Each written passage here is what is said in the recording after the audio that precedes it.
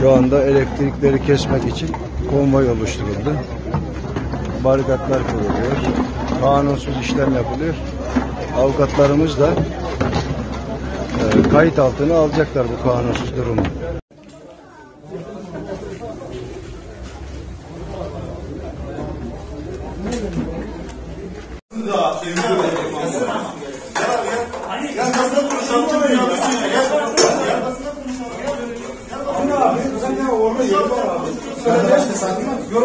Var tek tek var.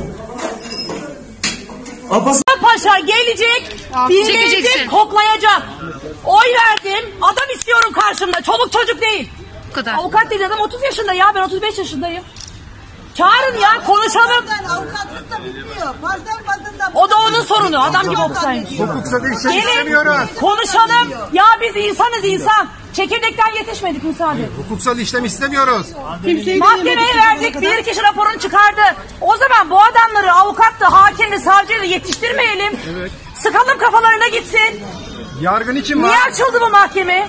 Niye millet hukuk fakültesini okuyor ya? Başımı açmadım okumadım diye mi olmadı bu kadar sıkıntı? Nerede ya çoluk çocuk bir çağırın şuraya bir dinlesinler beni. Bu nedir ya? devletin kurumunun vermiş olduğu yargı kararına herkes uymak Biz zorundadır. kararları Avrupa'dan almadık ki. Avrupa'ya mı gidelim? Burada hakim savcı yok mu Allah aşkına ya?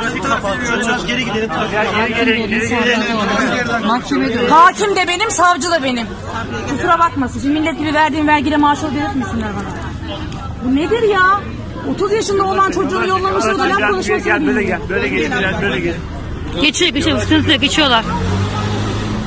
Arabalar geçiyor sıkıntı yok. Enes beni arıyor.